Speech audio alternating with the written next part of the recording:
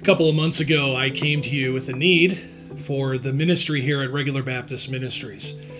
I want to say to you that we have been overwhelmed by your generosity. We're grateful for how God has used you in giving to this ministry over the past several weeks.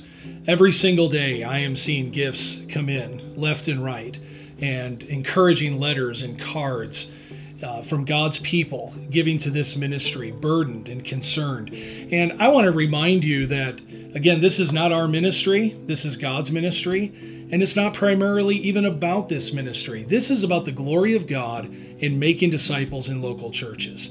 And when we have the appropriate resources to do that, we're able to provide those resources to your local churches so that you can help disciple God's people so that they can be changed by the Word of God into the image of Jesus Christ.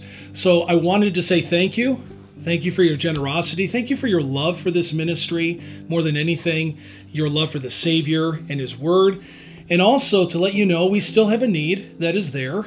And as God leads you and burdens your heart, we encourage you to give towards this ministry to help with the shortfall. Remember, uh, when churches do not assemble, churches do not order curriculum. And when they do not order curriculum, that hurts with our revenue.